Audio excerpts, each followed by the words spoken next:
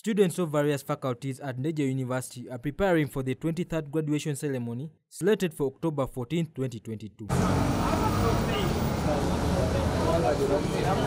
Established in 1992, Ndejje University was the first private university in Uganda and will be holding its 23rd graduation this year at main campus in Luweero. According to Mary Natongo, the Assistant Administrative Secretary, Faculty of Engineering, several students have been cleared under this faculty. We have over 800 students who are going to graduate, and a big number belongs to civil because we have over 400 students coming from the civil department.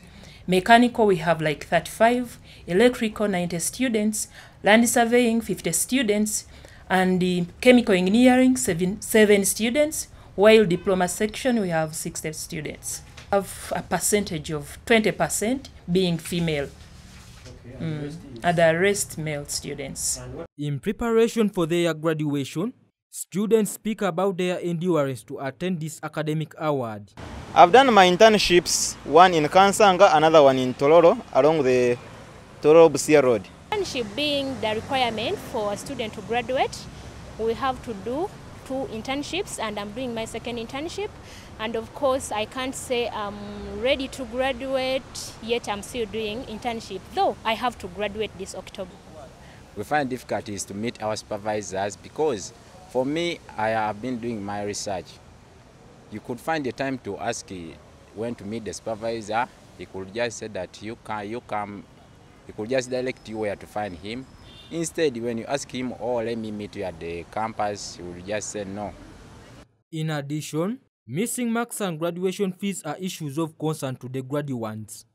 I'm still working on my marks. I haven't got all of my marks yet. The graduation is about, and and yet I have to graduate.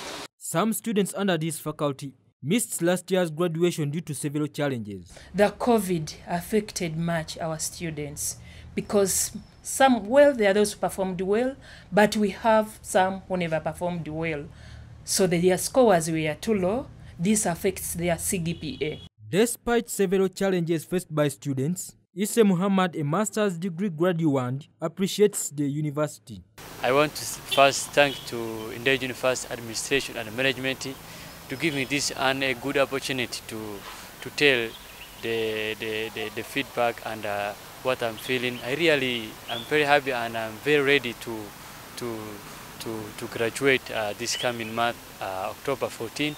I'm very happy, serious. I can't wait, really. I did my master's uh, here in Ndejje University, Masters of Agriculture and uh, Sustainable Agriculture and Rural Development.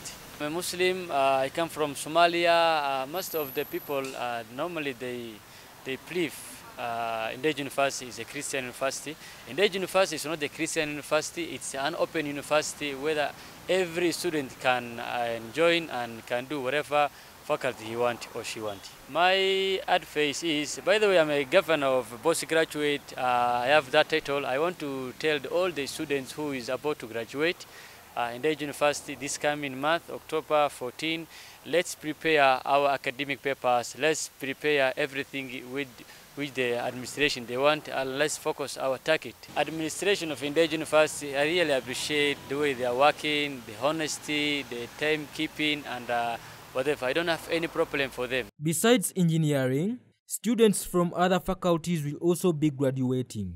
For Ndejje University TV, Edwin Sempagala, Frank Senabulia, Sarah Chilabo, and Elia Mwesekezi.